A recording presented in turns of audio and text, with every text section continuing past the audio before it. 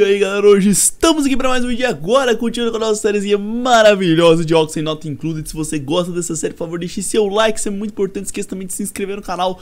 Divulgar para os seus amigos que sejam demais mesmo aqui no canal. E muito obrigado a todo mundo que tá apoiando essa série, Dá, deixa seu like aí, mano. A série tá sendo muito legal, tá sendo muito divertido gravar, eu tô gostando do jogo, eu espero que vocês também estejam. Porque esse jogo é maravilhoso, esse jogo é muito legal. E, enfim, meus senhores. Objetivos desse vídeo, cara Vamos fazer um projeto aqui de atmotragens pra gente explorar essa parte de cada mapa, inclusive eu quero ver se a gente consegue talvez entrar aqui nessa parte, ou talvez essa parte aqui de baixo também, onde tem esse vacilador neural, quero ver se a gente consegue começar a chegar nesses locais aí, com a atmotragem vai ser isso possível, tranquilo, vai ser bem simples fazer isso, além disso também, uma coisa que vocês falaram aí nos comentários e que eu achei muito válido mesmo, tá?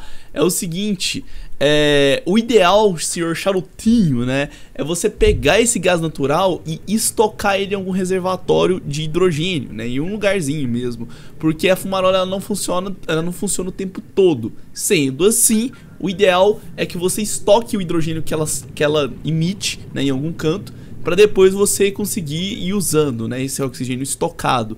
Dá para eu estocar ele aqui, né, querendo ou não, acaba que essa sala aqui fechada, ela serve de depósito, mas não cabe tanta coisa, né? Essa, um reservatório de gás aqui consegue armazenar até 150 quilos de gás. É muita coisa, é muito grande também. Meu Deus, olha o tamanho desse reservatório. E o reservatório, inclusive, eu posso construir ele aqui embaixo mesmo. Eu não preciso necessariamente construir ele aqui em cima, nem nada do tipo. Eu posso construir ele aqui embaixo, que tá tudo tranquilo, tá tudo suave.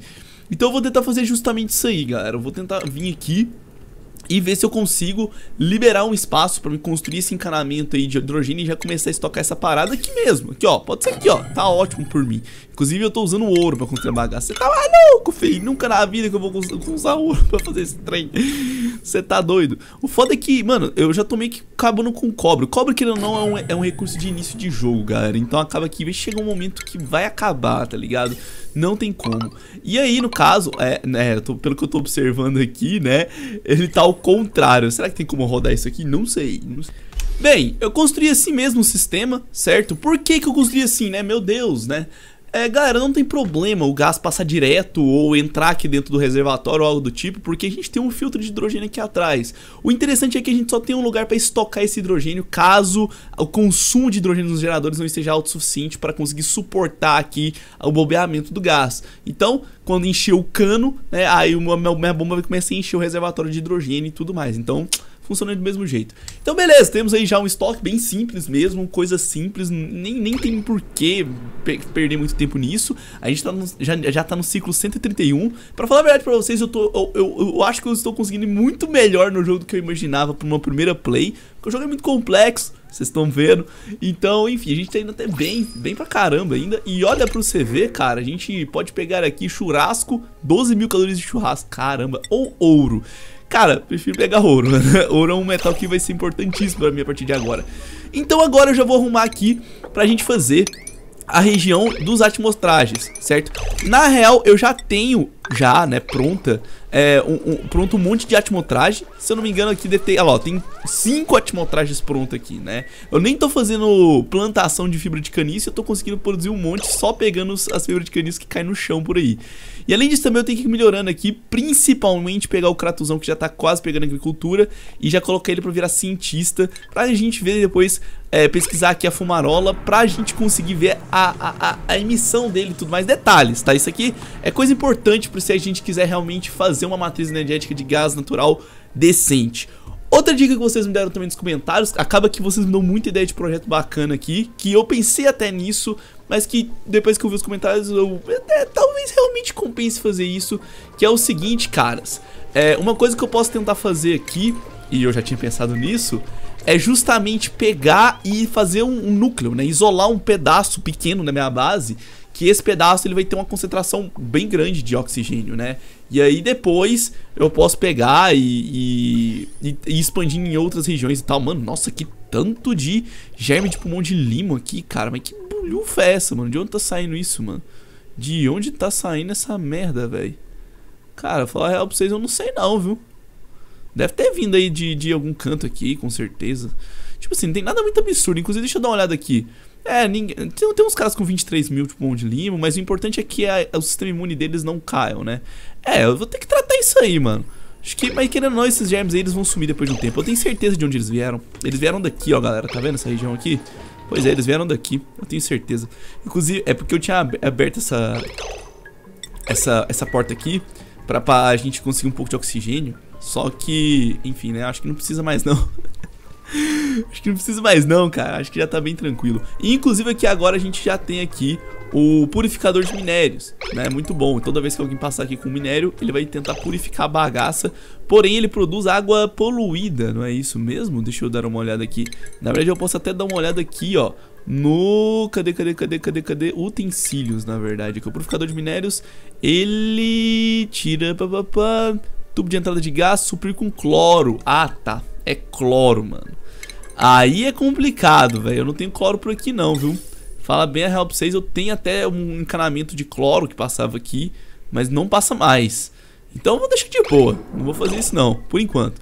Mas enfim, além disso aqui que a gente já tá fazendo, né, que é essa salinha aqui, eu vou também tentar puxar todas as minhas águas poluídas para o mesmo canto para tentar começar a bombear elas para um reservatório de água poluída para depois a gente fazer e tal é, e a gente conseguir né, purificar ela e tudo mais. Então acho que não tem muito problema no final das contas, tá galera? Nosso sistema aqui tá bem confiável e as coisas estão bem de boa, nossa matriz energética tá até razoável desde que eu consiga fazer agora essa exploração da de cá. Então vamos focar nisso aí, vamos tentar dar cabo nos projetos. Bem, meus senhores, é o seguinte, coisas aconteceram, consegui dar um avanço bem legal, passou-se aqui uns 4, 5 ciclos, algo em torno disso aí, mais ou menos. E é o seguinte, senhores, basicamente vocês já podem ver algumas mudanças, como por exemplo, um novo desoxigenador de algas para tentar ver se eu consigo espalhar um pouco de alga nessa região aqui, que geralmente é uma região que a galera fica muito tempo, certo? Porque é a região onde produz comida, né, onde manufatura as comidas, digamos assim, onde ficam as fábricas. E tem a concentração muito pequena aqui de oxigênio. Nos quartos tá até de boa, mas ali tá fraco. Além disso, também eu tô fazendo uma expedição gigantesca em busca de limo, alga, minério, tudo quanto há que tem disponível aqui na parte do pântano pra gente pegar, certo? Vocês podem ver que eu tô fazendo as escadas aí pra gente minerar tudo e tal. É, querendo ou não, a partir de agora a gente vai ter que fazer bastante isso, porque inclusive é, o limo é o que tá sustentando as algas que sustenta a minha produção de oxigênio dentro da base. Então eu realmente preciso. E além disso também, a minha estaçãozinha aqui de Exotarge tá prontinha e supimpa, moleque. Então agora a gente já pode já começar a explorar essa região aqui. Eu também vou minerar isso aqui só para completar aqui os bloquinhos e ter acesso a essa regiãozinha aqui também. E além disso também eu construí mais um gerador a gás natural. O reservatório de gás natural tá pronto, já tem aqui armazenado 150 quilos de hidrogênio. E não só isso, eu acabei de descobrir que uma fumarola de gás natural consegue produzir energia para um caralhinho, galera.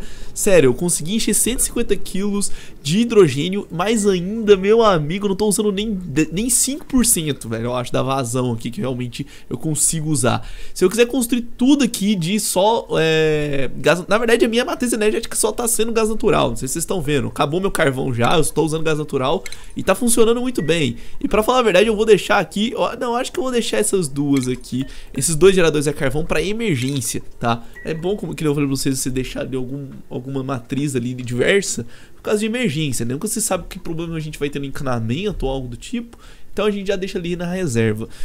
Então é o seguinte, né? Com essa minha expedição aqui, a gente vai chegar num lugar aqui que é bem frio, que tem bastante planta do frio, que vai ser bastante interessante pra gente equilibrar ali a nossa temperatura. E inclusive a gente pode utilizar essa região aqui até mesmo para dar uma refrigerada em algum líquido, alguma coisa que a gente queira fazer. Dá pra fazer isso. A mesma coisa dá pra fazer aqui embaixo, porém aqui embaixo eu ainda não tenho tanta, tanta afinidade aqui, né? Eu preciso dar uma, uma explorada a mais aqui, na verdade, para me chegar nessa parte aqui, certo? De qualquer forma, a gente vai fazer agora uma expedição até essa região aqui, tá? A gente vai começar a cavar aqui de fato e vir nessas regiões aqui.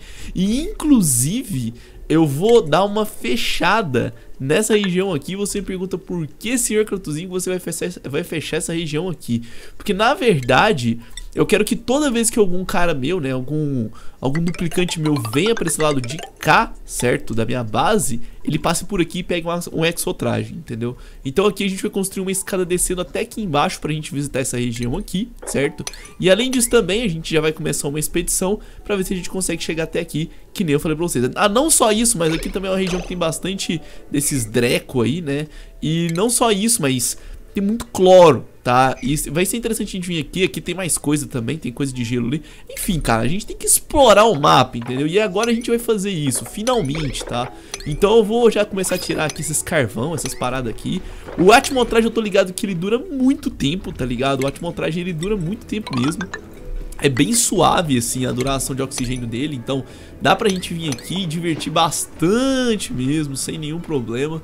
Então eu acho que minerando isso aí a gente já consegue ficar de boa. Eu coloquei 5 atmotragens, então tem atmotragem pra caramba. Ah, dá pra ver o tempo que dura, olha pra você ver. Tá de boa, né? Então tá bem suave aí com esses atmotragens agora a gente explorar. E é, ó, a gente pode pegar aqui arenito. É, eu vou pegar arenito. Eu não vou pegar mais duplicante por enquanto, tá? Minha produção de comida tá bem equilibrada. Tá, tipo assim, nem sobrando e nem faltando muito. Tá bem suave. É, toda a minha infraestrutura tá funcionando bem. E, inclusive, a gente conseguiu purificar toda a nossa água poluída. Sustentabilidade, senhores. É, consegui basicamente tudo. Tem um restinho aqui, algumas gramas de água poluída só que tá sobrando aqui. E, enfim, eu só vou liberar essa água aqui quando tiver pronto mesmo aqui e tal. Então, água já não é mais um, muito um problema. E não só isso, mas eu também também fui abrindo buraco aqui, né, nessa região. E com isso a gente foi pegando essas águas poluídas e tacando aqui embaixo. Vocês podem ver, né? Eu fui meio que derrubando tudo aqui embaixo, aqui. Inclusive essa água poluída por algum motivo tá cheia de germe de pulmão de limo, mas não tem problema. E outra coisa, eu descobri a fonte de pulmão de limo dentro da minha base. A fonte de pulmão de limo, galera, tá sendo as algas que eu tô trazendo pra fazer os meus desoxigenadores de oxigênio funcionar. Porque as algas, elas estão sendo limo refinado que eu tô produzindo aqui, porém elas ainda assim saem com um pouco de germe de pulmão de limo. Aí quando você coloca no desoxigenador e ele vira oxigênio, o oxigênio ele sai com um pouco de pulmão de limo. Porém não é nada demais, tá? Não é uma concentração gigante, o próprio oxigênio mata o, o pulmão de limo, então tá de boa. Sendo assim, eu vou esperar a galerinha vir aqui pra gente explorar ali. E aqui também a gente vai ter que construir uma rede de energia pra isso aqui. E tá passando o trem aqui perto de casa, vou cortar o vídeo, porque senão eu vou querer ouvir o fonfon absurdamente alto desse, desse trem. ok, senhores, é o seguinte, o primeiro fruto da nossa expedição ali, né, pro, pro lado de fora, pro exterior, tá dando frutos, tá? O primeiro, primeiro fruto, cara. Primeira conquista. Bem, basicamente eu lá venho destrinchando essa área aqui de pântano. Inclusive tem uma observação que eu fiz que é bastante interessante. Que quem já joga provavelmente já sabe e tal, né? Tá cagado de saber. Mas eu fiz essa observação agora e eu descobri uma coisa bastante interessante da composição dos biomas no jogo. Não só isso, mas a gente tem um destilador de alga. Eu coloquei mais dois aqui pra tentar ver se a gente consegue manter um saldo positivo de alga. Até porque é o meu principal meio de produção de comida, né? Não, comida não, oxigênio, né? Mas enfim... O que, que acontece então? Ah, o meu reservatório de água poluída tá bem grande, inclusive depois eu vou purificar essa água e tudo mais, né? Passar por um tratamento. Mas é, é, o seguinte, galera, a composição inteira dos biomas do jogo é mais ou menos desse jeito. Olha pra você ver, eu não tinha reparado nisso ainda. Você tem um bioma, tipo pântano, e em volta desse bioma você tem esse abissalito aqui, certo? O que, que, seria esse abissalito? Se você for olhar aqui nas temperaturas, você vê que ele é meio que uma parede térmica. Por que, que ele é uma parede térmica? Porque se você clicar nele e vir nos detalhes, você vai ver que a condutividade térmica dele, ou seja, a condução térmica dele de uma superfície para outra dele, é zero. Ele não conduz temperatura, ou seja, ele isola totalmente tá, a temperatura de um lugar para o outro. Ele é o melhor isolante térmico possível, o perfeito. É um isolante é, térmico perfeito, é uma matéria que se... Mano, não existe na vida real, tá? Não existe, por isso que é um é absalito, não existe, tá? Quantidade térmica é zero, zero. Ele não conduz nenhuma, nenhum calor nem nada. Então, nenhuma energia.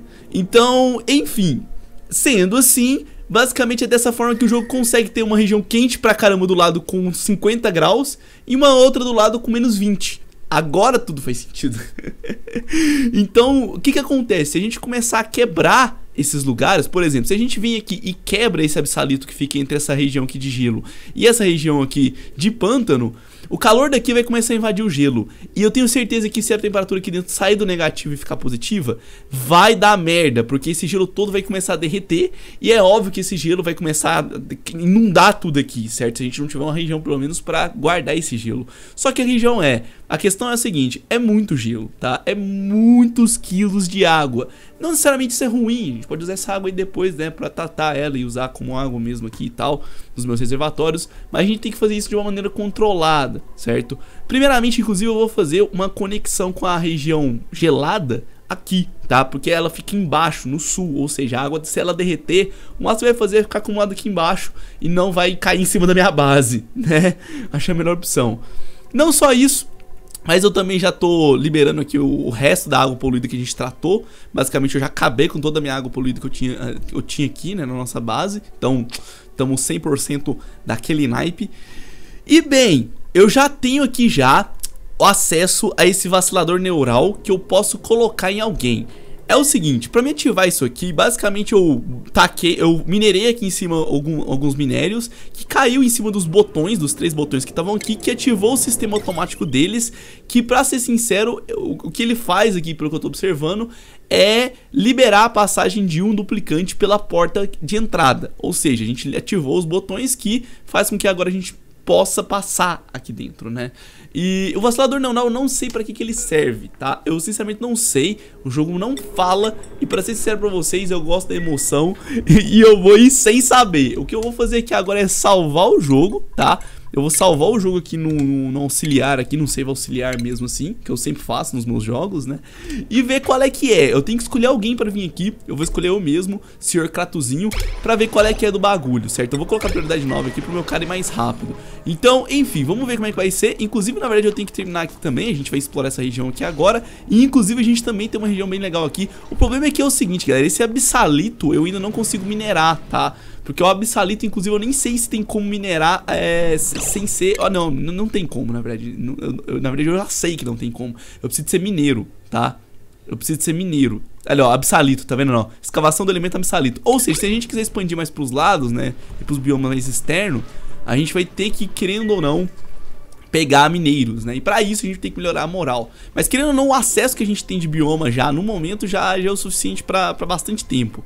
E além disso, também eu tô melhorando a, a, situação aqui pra gente coletar esse cloro. Eu tô tendo acesso a reservas de cloro, tô tentando fazer isso. Ah, e outra coisa, eu não falei, mas a gente teve que energizar aqui. Pra energizar, eu basicamente puxei um cabinho aqui de um transformador meu pra cá, e aí eu tô usando até a bateria que tá aqui, né? Tem uma bateria ali, inclusive. Então a gente tá bem tranquilo aqui, né, no geral. Então beleza, ó, o Kratos chegou, vamos dar uma olhada aqui pra ver o que que vai acontecer. Eu não faço a menor ideia do que vai rolar aqui, cara. Só sei que meu cara entrou ali, tá, tá, ele tá com ótima traje, ainda bem, porque senão ele estaria morrendo. E, e aí? Usando vacilador neural. Tá, ah tá, é porque tá pausado. Eita porra! Vacilação neural completa. Ele vai morrer, mano? Qual é que é dessa porra, mano? Concluir processo neural. Ufa! Apesar de seu cérebro ainda estar vibrando, Kratos nunca se sentiu tão bem. Kratos adquiriu o traço Esmaga Pedras. Esse duplicante é incrivelmente forte, força mais 10. Caralho! Uou! Aí eu posso recarregar ele. Ah! Só que eu preciso desse Vacillator Recharge. Legal! Ok. Meu cara ganhou 10 de força, galera. É muita coisa. Caralho, isso é muita coisa, velho.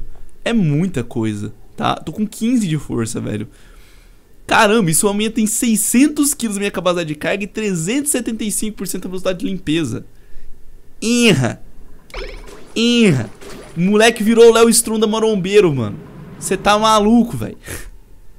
Mas enfim, galera, é o seguinte, eu vou tentar vir aqui e entrar nessa região aqui. Vou dar prioridade nova pra eles virem aqui mais rápido e eu vou tentar entrar nessa região aqui. Inclusive a parte de comida, tá? Minha comida deu uma reduzida, mas não é porque a gente não tá produzindo comida nem nada do tipo. É porque, na verdade, eu não tô, eu tô dando prioridade nas construções das paradas e não na na colheita de, de comida. Assim que a comida começar a ficar pobrezinha, aí a gente foca um pouquinho na comida e a gente já fica normal. Mas não tem nada grave não. Sem contar que minha comida tá no refrigerador, então ela não apodrece. E outra coisa, tá? É, eu tô construindo um segundo reservatório aqui de hidrogênio, tá? Hidrogênio não, gás natural, porque a gente tá... A gente precisa de mais lugar, velho. A gente precisa de mais, mais lugar aqui e tal pra, pra fazer essa parada. Inclusive, na verdade, pelo que eu tô observando aqui, a gente vai ter que construir... Na verdade, a gente vai ter que minerar essa região aqui de cima pra ter acesso a essa região aqui. Jesus Christ, mano.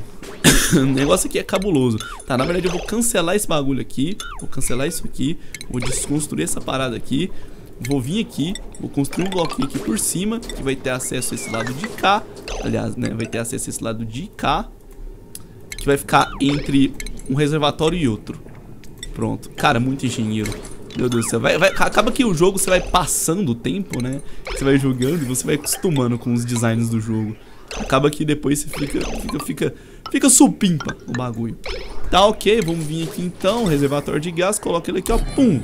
Lugar perfeito. Eu tenho que colocar essa escada aqui porque ele tem que ter acesso, né, aos dois aqui. E, inclusive esse aqui tá falando que tá sem fundação, mas pelo menos o gás tá funcionando, né? O gás tá ali de boa. Tá, tá tranquilo. Inclusive depois eu tenho que fazer um reservatório de água melhor pra essa água residual aqui do meu gerador de hidrogênio. Aliás, hidrogênio não, gás natural, cara. Tem que, tem que fazer isso depois.